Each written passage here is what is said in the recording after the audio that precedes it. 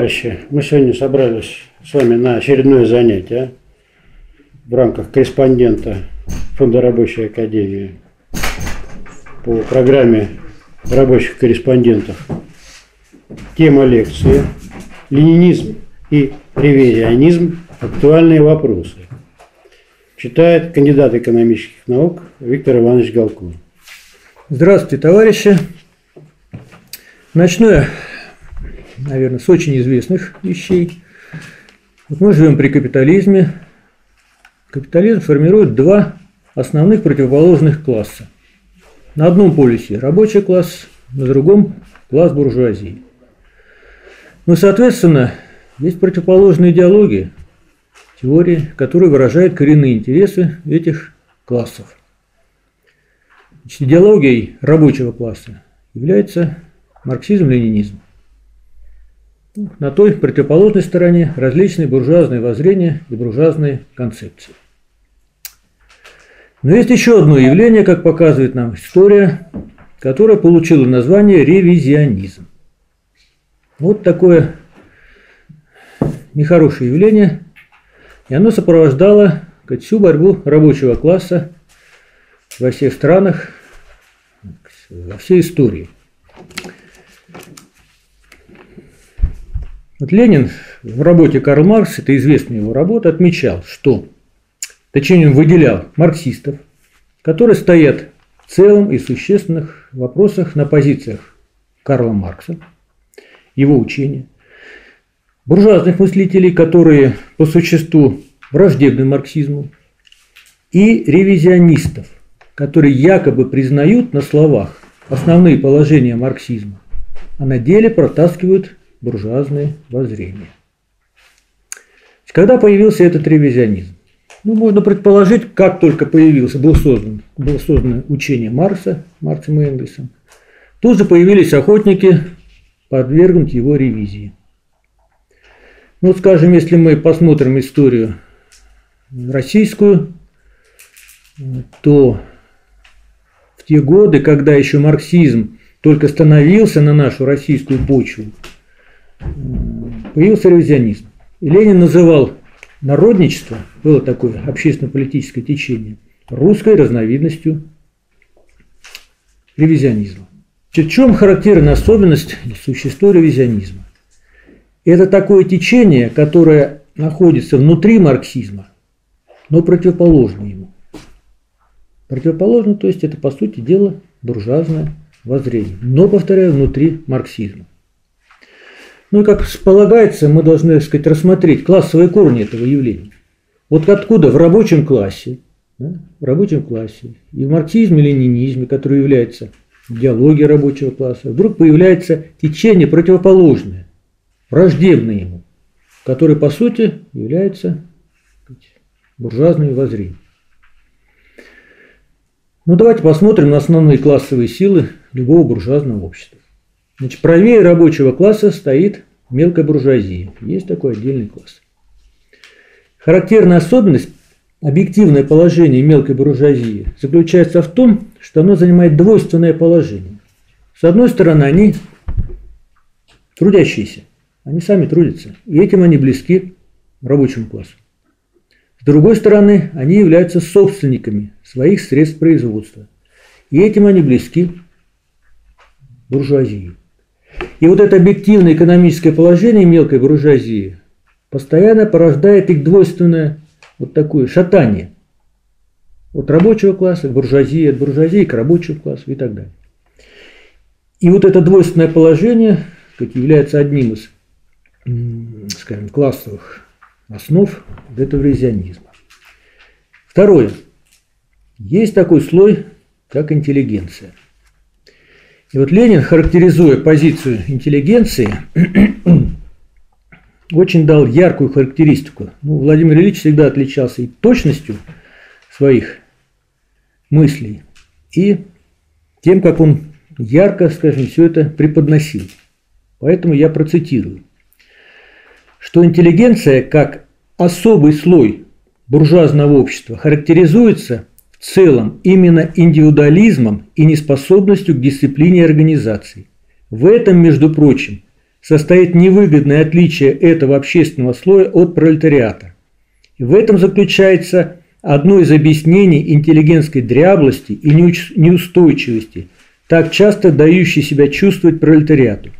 И это свойство интеллигенции состоит в неразрывной связи с обычными условиями ее жизни, условиями ее заработка, приближающимся в очень и очень многом к условиям мелкобуржуазного существования, работа в одиночку или в очень мелких коллективах и так далее. То есть объективное положение интеллигенции порождает у ее сказать, значительной части представителей буржуазные и мелкобуржуазные воззрения. И в-третьих, если мы посмотрим на рабочий класс, в нем же тоже есть различные тенденции, причем противоречивые. Нельзя сказать, сказать что там все такое единое, много, сказать, единообразное. Особенно эта острая проблема проявилась в эпоху империализма, то есть монополи... высшей стадии капитализма, монополистическом капитализме – когда крупные капиталисты, монополисты, то есть ну, за счет получения огромных прибылей, часть прибыли направляли на подкуп определенных руководителей или там предводителей рабочего класса, то есть рабочих вождей и верхушку ее называют рабочей аристократией. И Ленин специально отмечал, что этот слой обуржуазившихся рабочих или рабочей аристократии, вполне мещанских по образу жизни, по размерам заработков, по всему своему миросозерцанию есть главная опора второго интернационала. А в наши дни главная социальная опора буржуазии. Ибо это настоящие агенты буржуазии в рабочем движении. Рабочие приказчики класса капиталистов. Настоящие проводники реформизма и шовинизма. Значит, таким образом, вот классовые основы ревизионизма. Еще раз повторю, ревизионизм – это течение внутри марксизма, противоположное марксизму. Ну, может быть, такое вульгарное, грубое сравнение. Это как раковые клетки в здоровом организме, цель которых – поглотить и уничтожить здоровый организм. Вот. Значит, объектом нападок ревизионистам прежде всего являлись, явились ну, коренные положения марксизма. То есть те положения, благодаря, благодаря которым мы называем марксизм марксизмом. И вот Ленин на протяжении всей своей жизни боролся с этим течением, с опаснейшим течением внутри большевистской партии, внутри марксизма, ленинизма. И одним из таких видных, известных представителей э, ревизионизма являлся Карл Каутский. Известная личность на политическом небосклоне тех лет, один из вождей второго интернационала, один из тех, кого называли, скажем так, знатоком, теоретиком марксизма. Ленин даже писал, что у Карла Каутского в голове есть такие ящички, которых разложены как библиотеки, да, в ящичках. Цитаты, да, по полочкам. Э, цитаты Марса. И в нужный, сказать, какой-то момент он определенную цитату вытаскивал и предъявлял. Так вот, Карл Каутский уже после э, советской социалистической революции в России написал работу «Диктатура пролетариата». А ведь вопрос, скажем, диктатуры пролетариата, ее понимание, это коренной, коренной вопрос вообще марксизма, ленинизма. И он там все извратил, все поставил с ног на голову. Причем настолько это сделал, ну, сказать, была серьезная опасность ревизии этого коренного положения марксизма-ленинизма, что Ленин ответил своей работой «Пролетарская революция» и «Ренегат Каутский». Но ренегаты это кто такие? Это отступники, предатели. То есть те люди, которые, может быть, когда-то были, на словах признавали марксизм, да, что-то писали, в этой области, но потом предали, отступили от основных положений марксизма, ленинизма. Значит, что Карл Каутский сделал или попытался сделать, это работа теоретическая, то есть вот в теории, как он извратил вот это коренное положение о диктатуре пролетариата. А он его обставил такими условиями, такими оговорками, что никогда этой диктатуры пролетариата, если следовать указаниям Каутского, не было бы и не случилось бы. Ну вот, например, в теоретическом плане Каутский взял и противопоставил диктатуру, понятие диктатуры, знаете такое, и демократии. Вообще. То есть диктатура, причем он там понимал под диктатурой э, диктатуру личности какого-то, вождя, а под демократией демократию вообще. Это подход, ну сам подход, в корне противоположный марксистскому подходу. Потому что не бывает ни диктатуры вообще, ни демократии вообще. Бывает, так сказать, классовый. Определенная диктатура, то есть какого класса? Демократия какого класса? И Ленин ему отвечает по этому поводу. И давайте разбираться. Ну, демократия это что такое по определению, по понятию? Это форма государства. А государство это что такое? Это аппарат принуждения, аппарат насилия господствующего класса. Вот, то есть государство – это сугубо классовый инструмент. А Карл Каутский от этого попытался увильнуть, уйти в сторону. Второе. Карл Каутский из марксизма взял то, что приемлемо для буржуазии, а то, что неприемлемо, выкинул за борт. То есть в своей работе он обильно цитирует Маркса, Энгельса. А что признают? Скажем, та же буржуазия, буржуазные ученые, что признают? Наличие классовой борьбы. Вообще э, классовая борьба, вот это, так сказать, вывод о том, что история есть борьба классов, это же выводы сделали буржуазные ученые, французские, еще до Маркса, до Энгельса. Но марксизм довел понимание классовой борьбы до диктатуры пролетариата, когда рабочий класс, пролетариат, совершает революцию, берет в свои руки власть, устанавливает диктатуру пролетариата, разрушает старый буржуазный государственный аппарат и создает новый. И вот эту вторую часть, основную, -то, Карл Каутский выкинул за борт. Вот в чем заключается ревизионизм. По этому главнейшему вопросу. Ну, поэтому с полным основанием Владимир Ильич Ленин назвал Каутского, как его сторонников, там такой Вандервельде был, один из тоже вождей Второго интернационала, изменниками социализма, которые желают среди рабочих сохранить репутацию социалистов и марксистов. Вот такая история вопроса. У нас интересуют сказать, более современные дела. Вот как быть при социализме? Вот что у нас случилось в СССР? Ну, вы знаете, что в 1961 году на съезде, 22 съезде Коммунистической партии Советского Союза была принята новая, так называемая новая, третья программа партии. И по важнейшим коренным положениям была совершена ревизия. Мы на этом остановимся еще. Но вот, как всегда, полагается наверное, рассмотреть, а, какие классовые корни. Ведь если мы возьмем социалистическое общество, социализм, там нет класса буржуазии. Нет ведь класса буржуазии. Нет. Переходный период была у нас буржуазия. Все. Как класс она перестала существовать. Нет класса, нету класса мелкой буржуазии. Так ведь? Тоже переходный период у нас крестьянство, ну, проведена коллективизация, стало уже колхозное крестьянство. Что касается интеллигенции, ну так посмотришь, там сплошь у нас социалистическая интеллигенция признавалась, так ведь?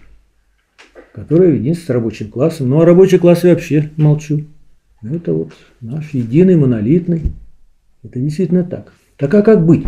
Как быть? Вроде бы нет противоположных классов и нету классовых причин.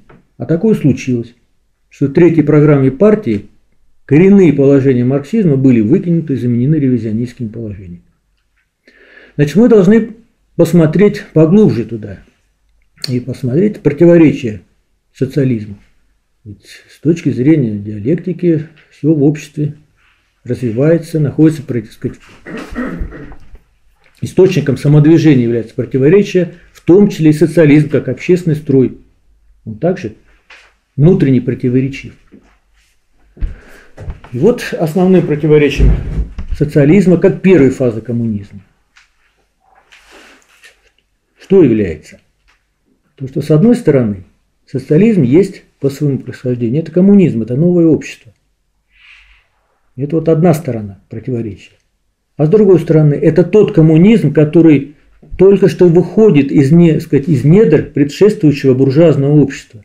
И поэтому во всех своих отношениях, и в экономическом, и в нравственном, и умственном, несет следы отпечатки старого общества. Я думаю, что Марс, и Ленин, когда вот, формулировали эти положения, э, наверное, тщательно подбирали вот эти слова, термины и нашли наиболее удачные. Следы отпечатки старого общества в новом. Это не кусочки какие-то, не элементы. Кусочки капитализма были в переходный период от капитализма к коммунизму, к социализму. А при социализме он все, коммунизм в первой фазе, но остались отпечатки. Если брать строгий научный термин, это называется момент отрицания коммунизма в нем самом, связанный с выхождением из старого общества. То есть, вроде бы, если поверхностно посмотреть, социализм, вот такое общество, коммунизм, все красное. Это там, когда гражданская война была. Вот здесь вот красный, здесь белый. Переходный период, можно сказать. Вот он, красный, коммунистический уклад. А вот он белый, капиталистический уклад, мелкобуржуазный уклад. Социализме все красное. А внутри тоже красное есть отрицательный момент вот этого белого. Соответственно, он, поскольку это отрицание коммунизма в нем самом, мы имеем противоречие. То есть противоположные стороны, противоречия и противоположные тенденции. Значит, одна тенденция, это главная, генеральная, она соответствует линии общественного прогресса и ведет к тому, чтобы социализм, как первая фаза коммунизма, перерастал в полный коммунизм, преодолевая вот эти следы, отпечатки старого. Есть вторая тенденция, мы тоже должны признать ее наличие. А именно тенденция, которая тянет обратно туда, в капитализм. Вот из социализма обратно тянет капитализм. Источником который является вот этот отрицательный момент коммунизма в нем самом на первой его фазе. И это противоречие, основное противоречие социализма, разворачивается в более конкретные. Поэтому если мы вот рассматриваем этот вопрос, то с одной стороны социализм, поскольку он есть коммунизм, это есть бесклассовое общество. Ведь мы знаем, что коммунизм это бесклассовое общество. А с другой стороны, это коммунизм, поскольку на своей первой фазе есть еще остатки, не уничтоженные до конца классовые различия. Соответственно, есть противоречия. И две тенденции противоположные. Первая тенденция, опять-таки, ведущая к уничтожению классов, к полному коммунизму. И вторая, которая тянет нас обратно в классовое общество. В то общество, где будет уже и класс капиталистов, и класс мелкой буржуазии, и антагонизм классовых интересов.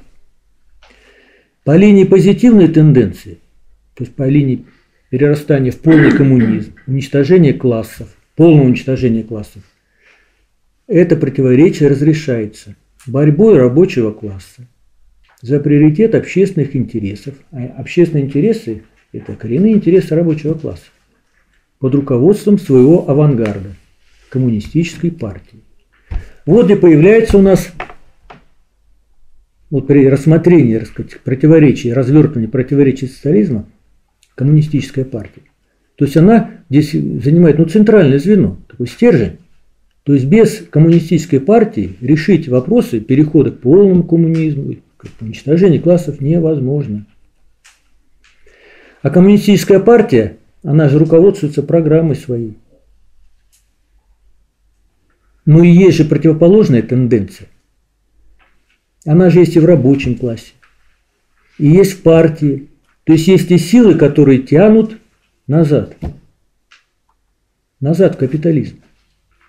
И вот получилось так в нашей стране, что вот к тому периоду, периоду, когда в 1961 году был 22-й съезд коммунистической партии, вот эти силы, которые, которые олицетворяли движение назад, спять капитализм, вот в партии оказались ну, вот, на первом месте победителем, да.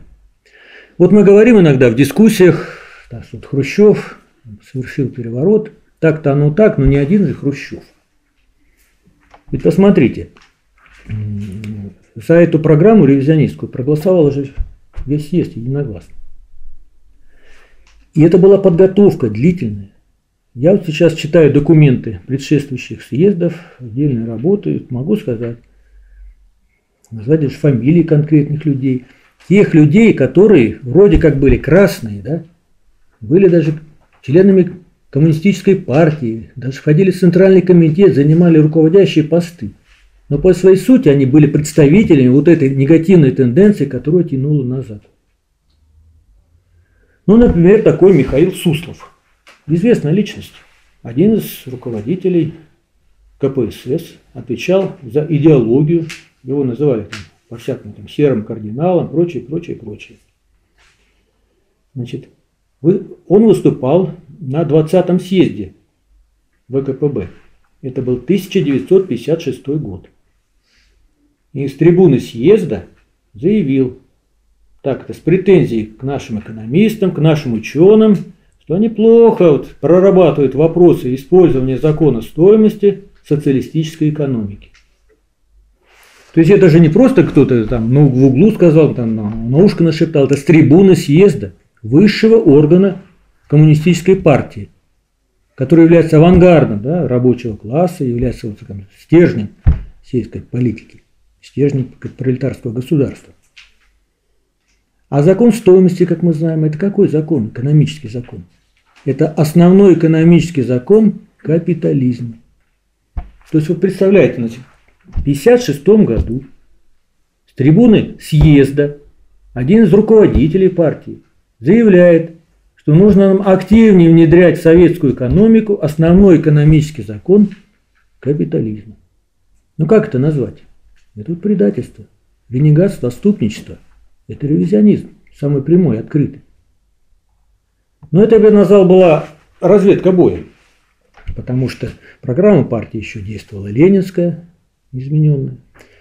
Второй деятель Александр Яковлев, тоже известная личность, махровый антикоммунист.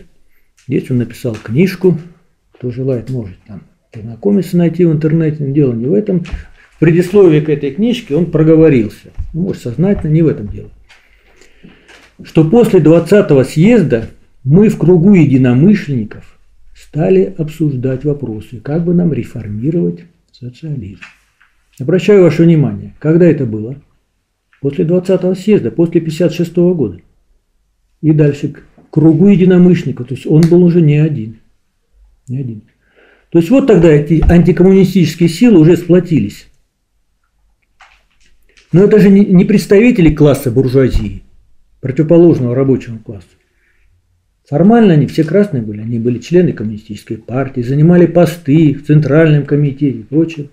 Но по своей сути это были те, кто олицетворяли вот эту негативную тенденцию, этот отрицательный момент коммунизма в нем самом и тянули назад. Значит, 20-й съезд был в 1956 году, в 1961 году, значит, вот 5 лет понадобилось, чтобы подготовить все необходимое чтобы ревизовать по основным коренным положениям коммунистическую программу, вторую ленинскую программу партии.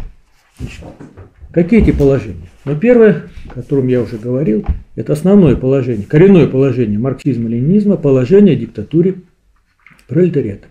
Оно было заменено в программе партии на якобы всенародное или общенародное государство.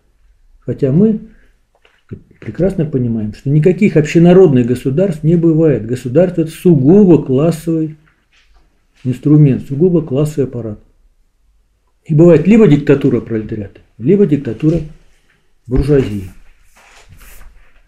То есть уже в программу партии, пока еще в программу партии, забили, включили противоположный марксизму-ленизму один из коренных пунктов. Второе. Что такое партия? Ну, мы знаем что сейчас. Это авангард класса. Соответственно, коммунистическая партия – это авангард рабочего, класса. А что было включено? То есть это положение выкинули. И партию назвали авангардом всех трудящихся. Ну, кто-то может сказать, так в партии же не только рабочие. Совершенно верно. И в партии Вообще коммунистическая партия – это соединение чего? Рабочего движения с научным социализмом. Научный социализм, ну кто партию приносит? Интеллигент, интеллигенция. Ну не просто интеллигенция, а те интеллигенты, которые встали на позицию рабочего класса. Вот какая тонкость. Значит, диктатура пролетариата, партия – это как бы сфера политической надстройки. Есть еще базис, экономический базис, который определяет всю сферу идеологическую, политическую настройки и так далее. И здесь в программе партии были внесены положения, которые ревизовали марксистско-ленинскую позицию. Я возьму два основных ключевых. Первое – это цель социалистического производства. Во второй ленинской программе партии было сказано, что цель социалистического производства – это обеспечение благосостояния и свободное всестороннее развитие всех членов общества. Ну что значит вот бесклассовое общество? Это когда не будет деления на классы. И, кстати, рабочего класса тогда не будет. Да? Ну, все члены коммунистического общества будут уделять часть времени производительному труду, часть времени управлению государством и заниматься творчеством. Это положение и вот эта цель социалистического производства, сказать, реализуясь уже в экономической политике, в экономической системе э, социалистической, она реализовывалась. Что сделали? Написали, целью социалистического производства является наиболее полное удовлетворение материальных и духовных потребностей советских граждан. Ну, во-первых, не все граждане, только часть понимают. И второе, вот эту вторую часть, где говорится о свободном всестороннем развитии всех членов общества, просто выкинули. Ну, я огрублю ситуацию, то возьмем капитализм. Ведь это, ну, понятно, строй эксплуататорский. Но, с другой стороны, это форма развития производительных сил. Более, так сказать, высокий строй по отношению, скажем, к рабовладению, то, феодализму и так далее. Он обеспечивает в той или иной степени удовлетворение материальных и духовных потребностей ну, членов капиталистического общества. И трудящихся, и не трудящихся, обеспеченных. То есть вот насколько опустились. Но ну, практически до уровня, до того уровня, вот эта цель, которая была сформулирована сказать, и введена э, в программу КПСС, она вполне была допустимой для капиталистического производства. Второе. Программу партии ввели в положение, впервые в, Ленин, сказать, в ленинской программе такого не было, о более широком использовании товарно-денежных отношений. Вот давайте здесь разберемся. Здесь много моментов. Ну, во-первых, товарно-денежные отношения. Сам термин. Ни Маркс, ни Энгельс, ни Ленин это не, не использовали. Это не случайно было сделано, так сказать, ревизионистом, я потом поясню. Потому что есть такие точные, строгие научные понятия. Есть товарное производство. Есть капиталистическое производство. А что такое капиталистическое производство? Это та ступень развития товарного производства, когда рабочая сила становится товаром. Вот и все. Но между ними, значит, неразрывная связь.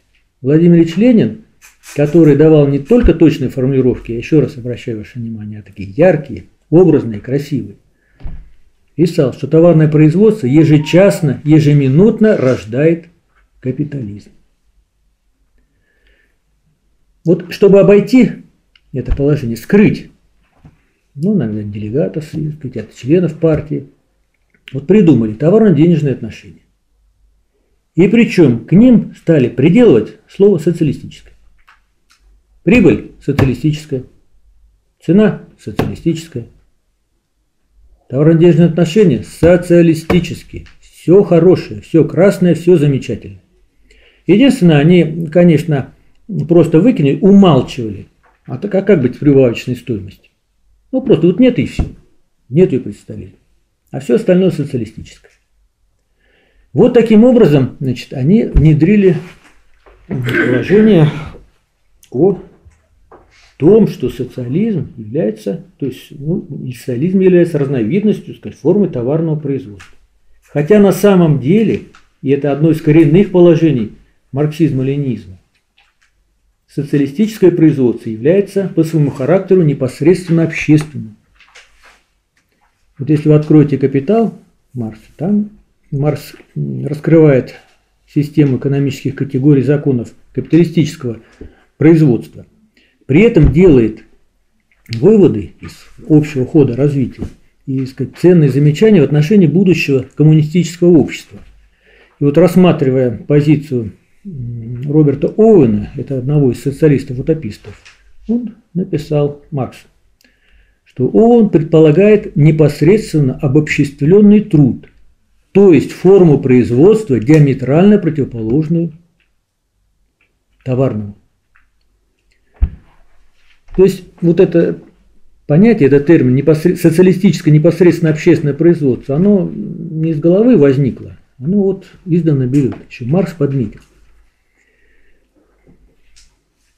То есть вот он противоположность. Социалистическое непосредственно общественное и товарное. Что сделали ревизионисты? Значит, они выкинули первую часть и поставили вторую.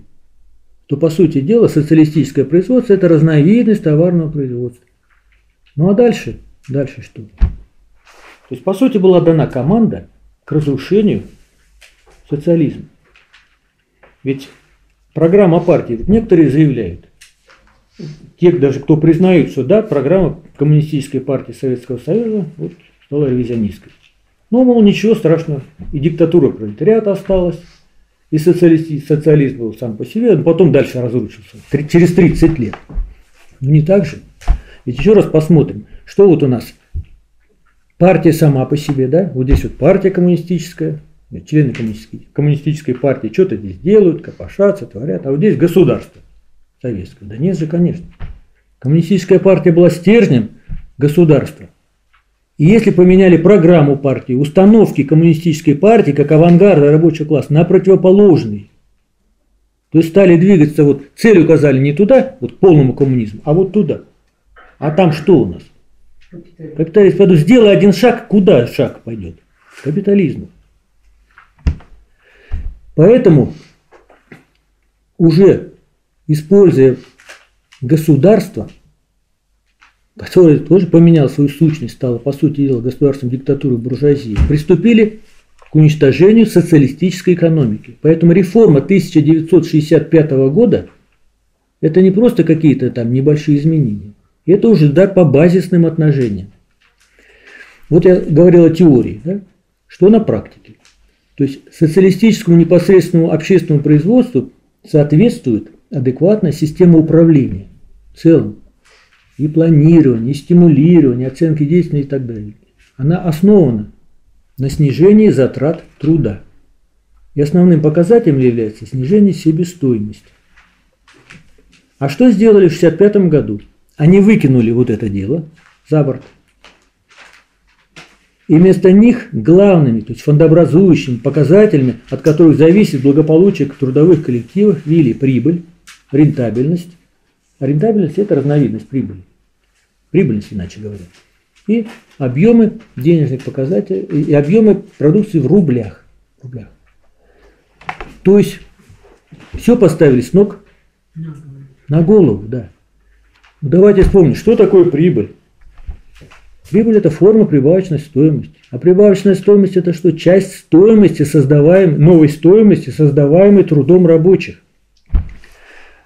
То есть в конечном итоге это затраты труда рабочего. Поэтому ориентация на увеличение прибыли в конечном итоге к чему ведет?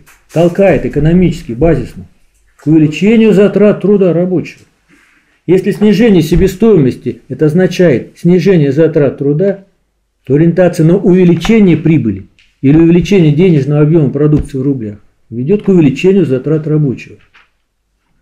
То есть, если для рабочего, скажем, прибыль для рабочего это затраты труда, часть его труда, то для кого-то, ну это, конечно, прибыль.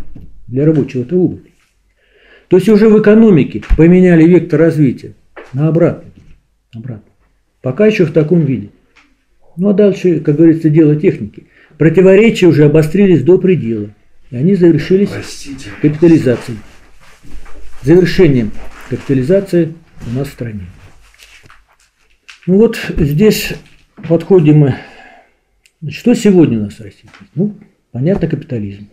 Есть рабочий класс, есть класс буржуазии, классы с антагонистическими интересами. Интерес рабочего класса один – совершить переворот капиталистическом способе производства, да? установить власть, диктатуру пролетариата и строить социализм. Как бы начинаем заново. А ревизионизм, он делся куда-то или нет? Даже в условиях капитализма? Нет. И при Ленине он был, и сейчас он остался. Ну вот я э, взял, посмотрел программы ряда партий, которые называют себя коммунистическими. Взял одно положение только. Ключевое. Положение о диктатуре пролетариата. Ну, могу сказать, что положение диктатуры пролетариата есть закреплено, причем до полной победы коммунизма, четко, однозначно, это в программе Рабочей партии России, в программе РКРП э, Российской коммунистической рабочей партии. И все. Хотя у нас достаточно много партий, где э, присутствует слово в названии коммунистическое. Ну, возьмем КПРФ.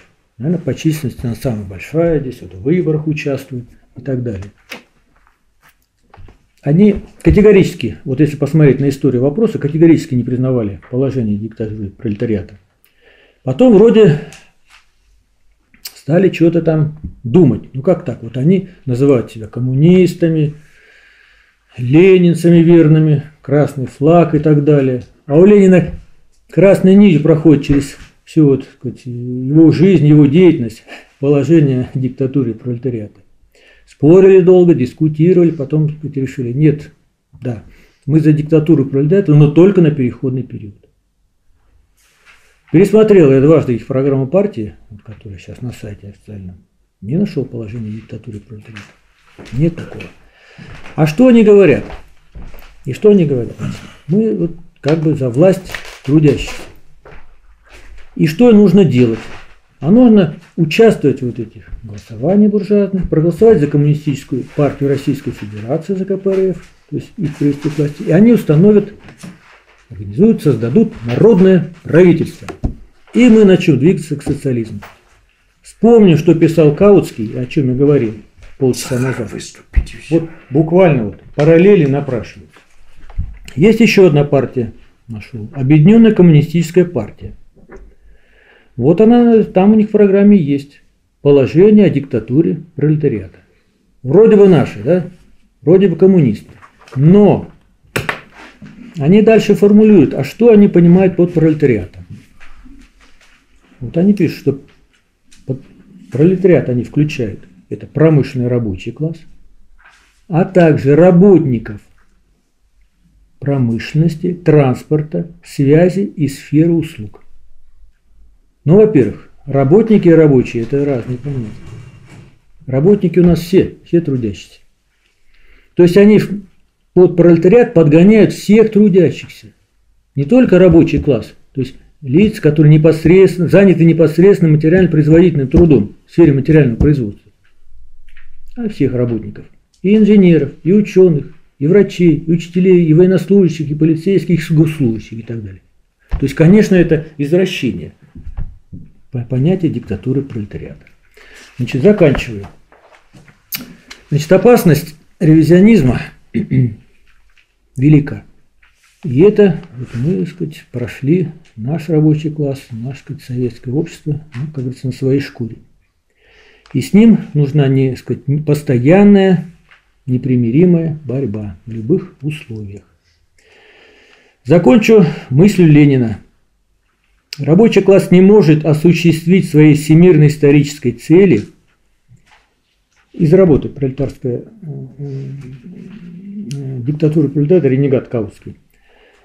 Не ведя беспощадной войны с этим ренегатством, бесхарактерностью, прислужничеством оппортунизму и беспримерным теоретическим опошлением марксизма. Спасибо за внимание. Спасибо. Так, вопросы. Вот между капитализмом и социализмом существует переходный период, да, когда власть политическая в руках пролетариата, диктатура пролетариата, но в экономике еще нет, переходный период идет. Э, и есть и обратный процесс, видимо, да, когда происходит контрреволюция буржуазная, то же самое, переходный период. Да. Вот вы можете по годам э, назвать переходный период социализма от капитализма к социализму и обратный процесс от Нет, социализма конечно. к капитализму. И с аргументами, пожалуйста. Это первый вопрос. Значит, социалистическая революция свершилась в 1917 году, 7 ноября. С этого момента, то есть была установлена диктатура пролетариата, с этого момента начался переходный период от капитализма к коммунизму. Переходный период характеризуется в экономике, ну, берем базисные отношения, наличием укладов. То есть, прежде всего, коммунистический уклад, за которым будущее, и противоположный ему. В России было пять укладов, но обязательным является два противоположных. Это капиталистический уклад и мелкотоварный. Между этими укладами идет борьба. Борьба кто кого. То есть не значит, что автоматически коммунистический уклад победит. Нет.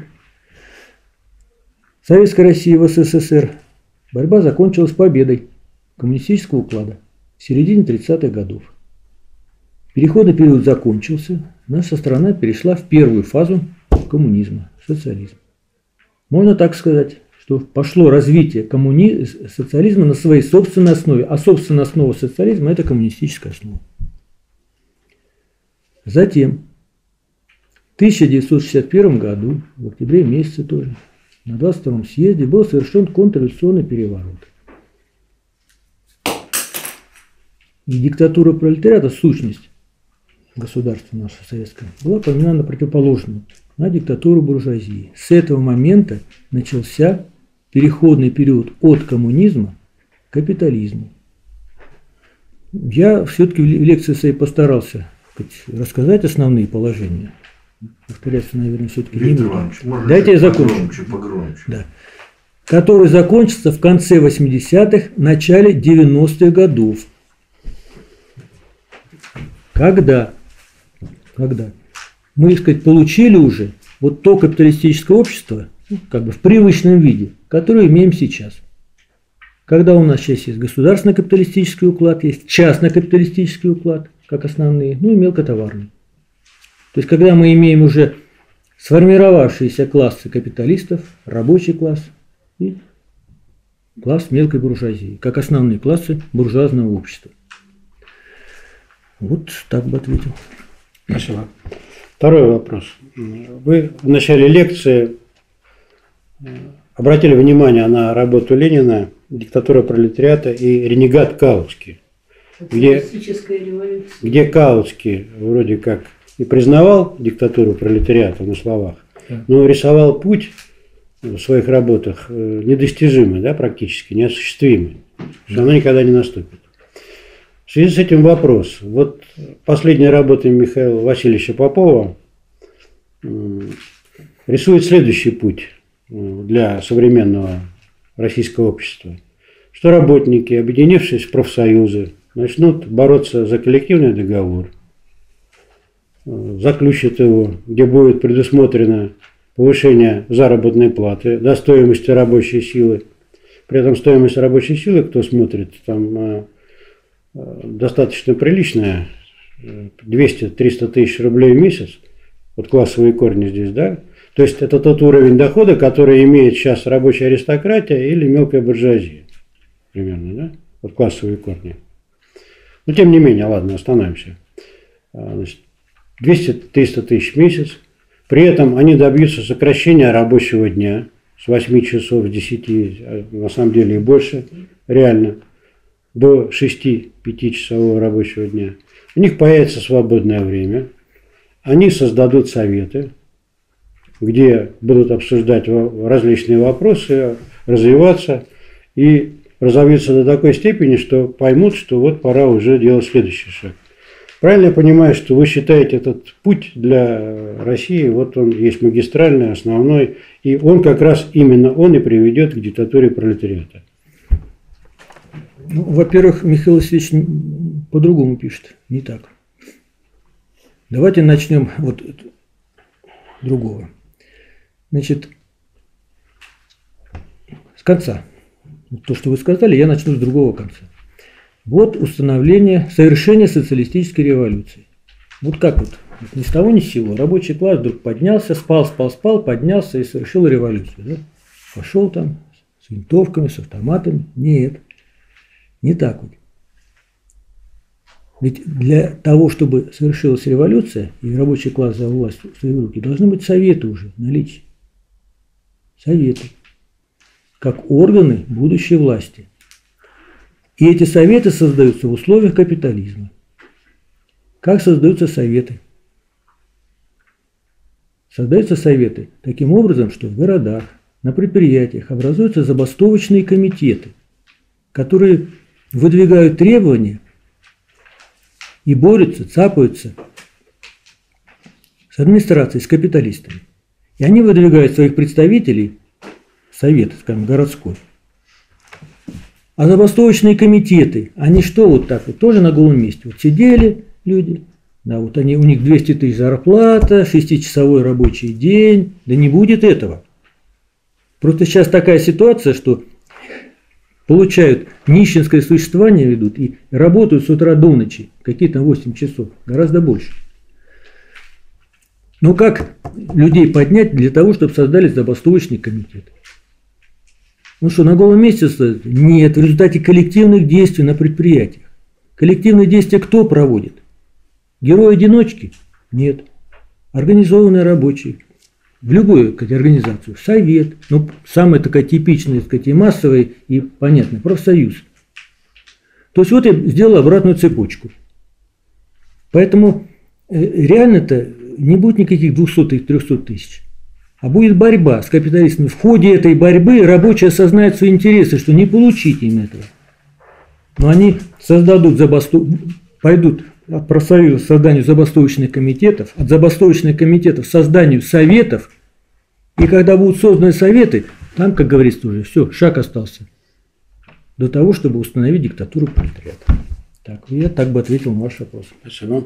Так, Смоленец Анна Васильевна, пожалуйста. Были названы признаки ленинизма и ревизионизма.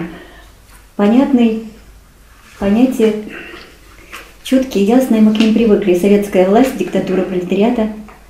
В заявлении ЦК РКРП КПСС Трудовой России последний программный документ Признаки ревизионизма. Называю по пунктам, не вдаваясь в подробности. Три основных. Нам нужен новый общественный строй, основанный на социалистических началах. Не социалистический строй, не советский строй, а новый общественный строй, основанный на социалистических началах. Не напоминает ли рыночную экономику социалистической ориентации? Это выражение вьетнамской коммунистической партии, вынужденно отступившей от марксизма-ленинизма. Сейчас там капитализм замаскированный с выражением вот рыночная экономика у нас – с ориентацией на социализм. Второе. Новая политическая система советского типа. Не советская социалистическая система, а советского типа. Тип советской. Тоже такие же вот уклончивые выражения двусмысленного характера Куба, Вьетнам, э, отступившие вынужденно страны от разрушения СССР, сейчас к ним прибегают. Третье, самое главное, коренное, вопрос о власти. Диктатура пролетариата, власть рабочего класса. Как же здесь? Формируется вопрос о власти. Цитируем. Своими словами скажите. Нет, нет, нет, я процитирую, поскольку своими словами это нельзя. Это просто... Вопрос о власти. Сейчас, сейчас, да-да-да, я цитирую способные обеспечить реальную зависимость власти и государственных деятелей от воли трудящихся, трудового народа. Итак, власти от воли трудового народа. То есть не власть трудового народа, не власть, не диктатура пролетариата, а власть, зависимая от воли трудового народа. Это то, что нам сейчас впаривают самое буржуазная власть и власть трудового народа, насколько она будет там зависимая в зависимости от реформ на 5%, на 20%, но власть одно, а воля трудового народа другое. Это не диктатура пролетариата. Это третье и основное. Есть и четвертое. Крупными буквами написана всеобщая политическая стачка. Радость-то какая. И снова. Забастовочная борьба с выходом на политическую всеобщую стачку. Забастовочная борьба. Я вам показывала 51 забастовку, картотека, никому не пригодившуюся, растет как чертополох. И никакого выхода на всеобщую политическую стачку. Еще раз, один к одному. На Новый год объявляется программа. Новый деловой год, 1 сентября. То же самое. Забастовочная борьба с выходом на всеобщую политическую стачку. Вместо того, чтобы назвать дату этой стачки и сказать, что это основная работа практическая в программе, практической программы э, рабочей коммунистической партии. Ну и самое главное еще, сказано, что внепарламентская деятельность, наконец-то, дождались, упущенная – пропущенная за 30 лет разрушенная, неосуществленная КПРФ, она ее должна была осуществить, сочетание парламентской борьбы, они же парламентская партия, и внепарламентской, основной, они этого не сделали. Прекрасно, чтобы РКРП это сделала, то, чего не сделала КПРФ. Ну, формулируется сочетание парламентской борьбы и внепарламентской с акцентом на парламент. Вместо того, чтобы сказать, что мы займемся внепарламентской борьбой, упущенной, пропущенной другими самоназванными коммунистическими партиями. То есть здесь пять шагов, и правильно заглавлено, заглавлено это заявление «Дорога на спуск». Вот это точно, самокритично и правильно. Рабочая коммунистическая партия пообещала народу стать такой, не такой партией, как КПРФ, а обещание своего не выполняет очень многое в сторону КПРФ. Спасибо, Анна Васильевна. Так, ну, прежде всего, Виктор Иванович, разрешите от вашего лица поблагодарить за лекцию. Интересную и доступно излагал. Сложные достаточно вещи. Значит, по выступлениям э, Анна Васильевна выступила с критикой заявления РКРП по выборам. При этом э, весь пафос критики сводится к тому, что нужно объявить всеобщую политическую стачку и назвать дату. И вот этим должна заниматься партия, вот она это сделает, объявит, и все забастуют, вот и революция. Ну, Анна Васильевна работала экскурсоводом, насколько я понимаю, у нее такое идеалистическое мировоззрение, что кажется, что нужно что-то сказать, и оно непременно сбудется. Теперь переходим к основному докладу. Э, Виктор Иванович вот на вопрос переходный период границы э, от социализма к капитализму сказал, что диктатура буржуазии в нашей стране, в Советском Союзе, установилась в 1961 году. Слабое место этой доктрины, которую товарищ отстаивает, это отсутствие буржуазии в 1961 году в Советском Союзе, который установил свою диктатуру. А, раньше на своих лекциях Виктор Иванович поясняет, что самой диктатуры, ну, в смысле, буржуазии как таковой нет, но была некая совокупная капитализм, да, совокупная буржуазия. И вот эта диктатура как раз и была установлена совокупной, совокупного капиталиста. Но совокупный капиталист, если нет индивидуальных капиталистов, э, такого понятия тоже быть не может. Это искусственное какое-то введенное понятие. В стране нет капиталистов, есть они в других странах. Но, тем не менее, может быть диктатура тех капиталистов, которые в других странах установлены в нашей стране. Такая сложная концепция. В действительности экономических классов э, буржуазных в тот момент э, не было. Очевидно, да, была допущена ошибка, был ревизионизм какой-то. Но как слой, как класс появился в 80-х годах. Расцвет теневой экономики, кооперативы. И вот тогда действительно появилась социальная база для того, чтобы э, осуществить свою диктатуру. Что они и сделали. И переходный период, наверное, все-таки мы здесь расходимся ну, в теории, да, и на практике в том числе, был в конце где-то 80-х, начало 90-х, диктатура буржуазии была установлена, действительно. И вот несколько лет был переходный период, он достаточно быстро произошел, вместе с ваучеризацией и прочее. Теперь по диктатуре пролетариата. Виктор Иванович э, начал с конца, а я опять все-таки начну сначала. Вот э, товарищ признал, что 200-300 тысяч заработная плата и шестичасовой рабочий день недостижимы в условиях капитализма. Он это признает здесь. Но что он говорит рабочим? Вы этого добьетесь. Он же не говорит, что это невозможно в условиях капитализма. Он говорит, это возможно в условиях капитализма и даже приводит примеры, где добиваются это. То есть он, по сути дела, ставит ложную цель перед работниками. Он говорит, вы можете добиться это самое, 6-часового рабочего дня, и даже они это в коллективный договор какие-то проекты составляют и прочее, прочее. И 200 тысяч, даже примеры нам показывают, где это достигли. Авиадиспетчеры, показывают нам профсоюз докеров в морском порту. Спрашивается, что теперь с авиадиспетчерами, с их заработной платой, с профсоюзом докеров, на который нам все время показывали. Ведь э, таким способом обманывая изначально рабочих, да, и вести их дальше, они не пойдут. Зачем же так? Давайте сразу говорить, что это невозможно. Почему вы скрываете это от рабочих? Что действительно организовываться надо, что э, советы вырастают из забастовок, все это так. Но вырастают не из-за экономические требования, которые неосуществимы в условиях капитализма, а за что-то большее, как побочный продукт, вот эта экономическая, так сказать, уступка со стороны буржуазии идет моментально. Вот за это и надо бороться, сразу революционизировать настроение и задачи более широкие ставить, и политические в том числе, что товарищи опять же используют э, метод, который критиковал Ленин, постадийность.